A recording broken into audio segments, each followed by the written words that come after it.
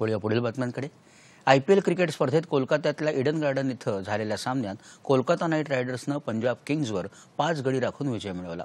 Punjab kings संघानं नाणेफेक जिंकून प्रथम फलंदाजी करत कोलकाता नाईट रायडर्ससमोर एकशे ऐंशी धावांचं आव्हान ठेवलं होतं तर कोलकाता नाईट रायडर्सनं पाच गडी बाद एकशे ब्याऐंशी धावा केल्या.